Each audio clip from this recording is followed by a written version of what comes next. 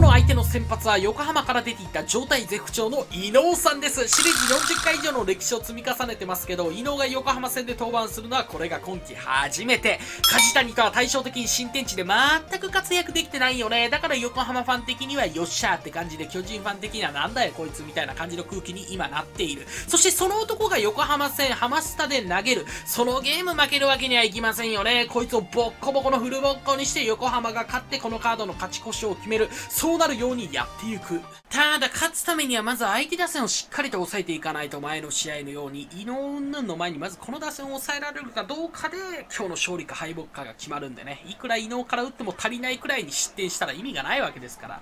ただ、この打線相手にどうしたら最小失点でいけるのかというのは前日掴んだわけですよ。コツをね、答えをね。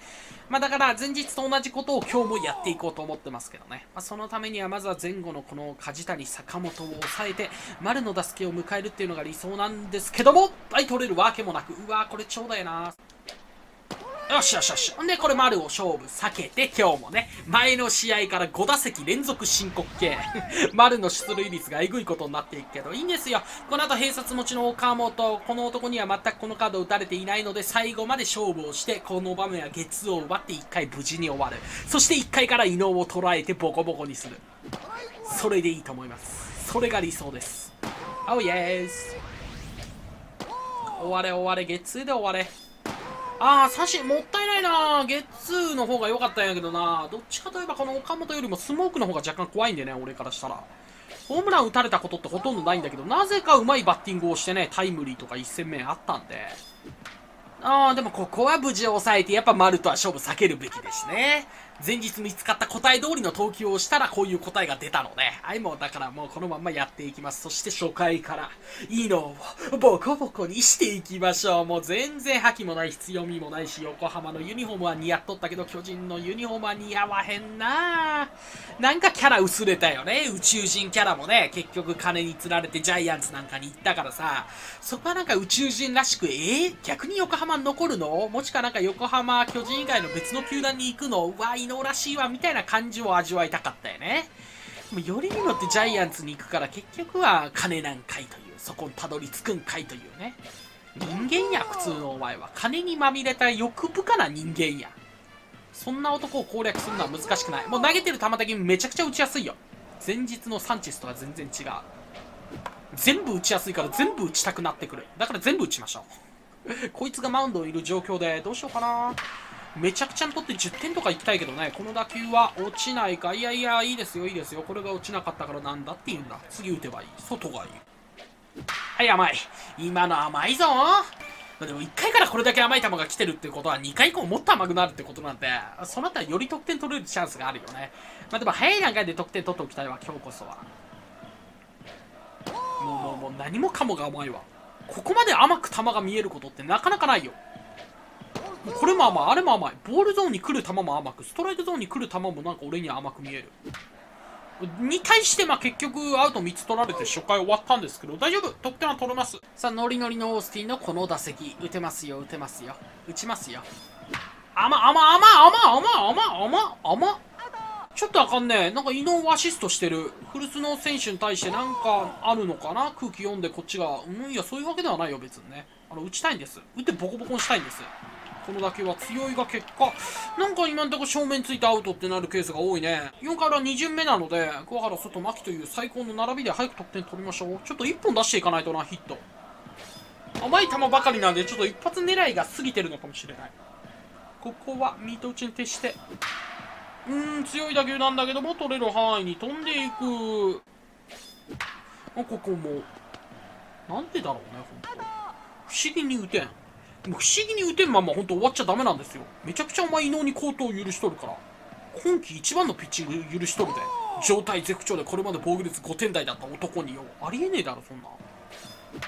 ええー、わかんないわかんないことが4回も続いてます。結果まだヒット打ててません。じゃあ5回どうなんでしょうかね。いやもうこんなストレート弾き返してスタンドを運べるは軽々と。口でしか今んとこ言えてないけどね。あの、言葉にすることはできても、結果残せてないんで。甘い、甘い、はい、甘い。今のなんてもう絶対打てる勢やろ。なのに打てない。なんかちょっとありますね、これはね。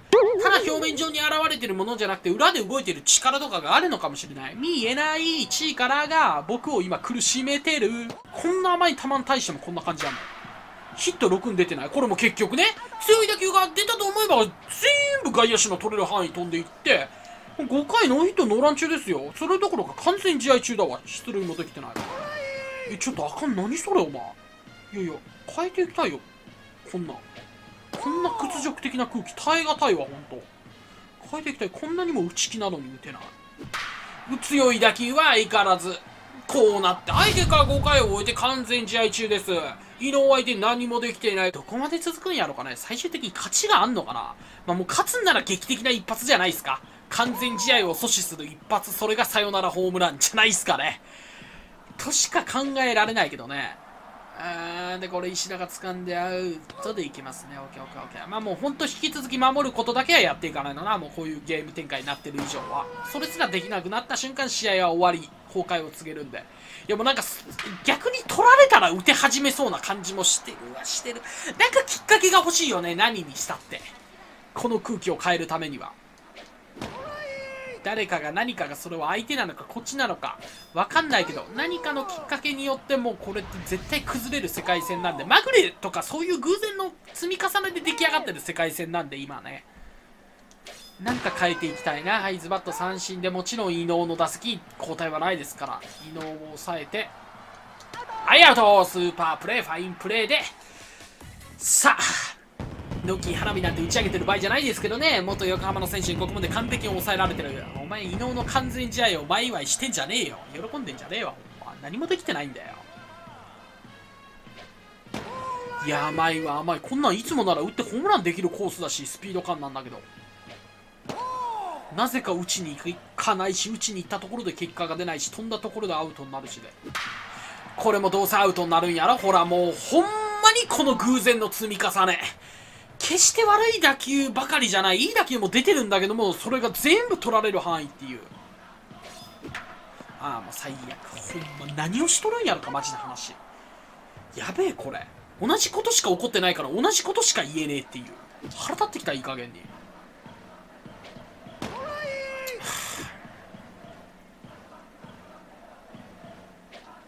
はい、もうこれ結局打ち損じ7回裏完全試合継続中で回は8回迎えます。伊野が投げ終わったイニングもちろんですが8回石田でいきます。1番、2番、3番と怖い並びですけどね、ここまで互いに0で来たんだ。お前が0の間はこっちも0でいく。という、そういうこだわりはぶっちゃけ捨ててますけどもね、こう言いながらもね。やっぱピンチ招いたら即交代する予定なんで。もうここまで来たら勝つしかないでしょ。勝つために野球やってるんでね。伊野が投げてるから石田で行こうなんてそんな考え方はいらなくてもうほんと勝ちを優先していこう。マジな話。だからピンチ招いたら交代や。おう正面。アウトよかった。さあさあさあちょっとスタミナ切れ間近ではあるけどとりあえず坂本丸に対しては石田で行こう。ああよかったよかったよかった。いやいやいやこれで2アウト。で、えー、マルン感謝申告敬遠で。でさすがにちょっとスタミナ切れ間近で4番岡本勝負する、ここまで抑えてるとはいえど、ちょっと怖い対象物なので、まあ、ピッチャーを変えて、えー、っと、この場合はエスコバーで直球でゴリゴリ押していけば簡単に抑えられるでしょう。行こう。よし、1球で勝負か。あ、ついてないわ。アホみたいに後ろいてくれたね、お前。そんな後ろおらんでええよ。その結果このピンチ。これが何かのきっかけになるかもしれないね。このカード岡本には全く仕事させてなかった。特に丸を申告敬遠しだしてから一本も打たしてなかったんだけど、このタイミングで生まれた。それが意味することは何なんでしょうかね。わかりません。えー、ここでダイソーマスター、どうでもいいです。目先にいるスモークを抑えたら済む話なので、間違いなくターニングポイント。これをクリアしたら、それがいいきっかけになるでしょうね。でもここで打たれたら、わかるよね？打たれないように、あの、全力を尽くします。守備の形態は定位置で、変にシフトを敷く必要はない。盗塁がそもそもアウトになって終わりということもない。ああ、そうですか。えいええいええいええいえサークルチェンジよしサードゴロアアウトさあ、ターニングポイントをクリアして、8回裏を迎える。ほんとここまで完全試合中ですけども、空気を変えるきっかけになる、そういう守りでしたし、この後期待してください。もう終わりです。この偶然の積み重ねが終わる時が来ているんだ。改めて確認しますけど、ここまでの移動に完璧に抑えられて、もう出塁何もできてません。相手のエラーもないですから、本当に完全試合継続中です。嘘じゃないんです、これはね。ただもうそれもここで終わる。ノリノリな状況でこの、すげえ打てる状況。もうもうもう言葉いらんね。言わんで吐くんじゃねえ。もうもうもうもうもうもうもう簡単です。簡単です。は、は、は、はこんな状況からなんか何その P ゴロえ、ありえないだろ、お前。え、嘘、嘘じゃないよね。嘘なわけないよね。映像で流れたし、見たし、やったし。え8回裏まだヒットも出塁もできてなくて佐野啓太でえ？あれ？あは？ちゃんちゃん8回裏を終えて完全試合ですねえあるかもしれませんよいやいやあいやああまあ抑えます抑えます抑えますこの後抑えましょう。うん。まあ、エスコバでいきますわ、引き続きね。まあまあ、ほんと、まず大前提ここは100%抑えていかないとね。はいはいはいはい。あ、オッケーオッケーオッケーオッケーオッケーオッケー。誰も予想できてなかった展開が今目の前にありますけど、だからこそ終わり方も誰も予想もしてないラストがそこにあるのかもしれない。それはいいも悪いもね。もうこうなったらそう解釈するしかないですよね。はいはいはいはいはい。9回の表を完璧に抑えて、さあ9回裏です。もう、ね。あのね、あのね、やることたくさん残ってますから。いや、あっという間、いや、あ、わ、わかんない。もう、もう、もうやりましょうやることやろう。はい、以上。言葉はいらん。結果を残す。え？いや、マジで何これ？代打送ります。伊藤光のとこなんですけど、まあ、キャッチャー戸柱いるんで、そこに、あの、細川まず送っておいて、ほんで、戸柱、この後試合が続くのであれば、戸柱で。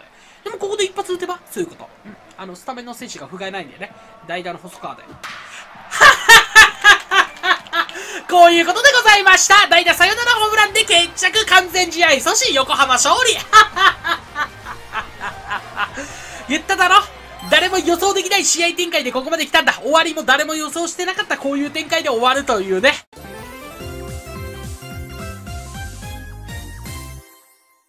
改めて今日のチームの攻撃振り返っていきますけど、もうほんとこんな感じで青しかないでしょ。でも最後に赤があってそれが一発で、それだからこそ試合が終わって今この瞬間を迎えてるってことなんでね。不自然と打てなかった。なぜ打てなかったのか？投げてる球は大したことない。でも完璧に8回3分の1まで抑えられていて完全試合で。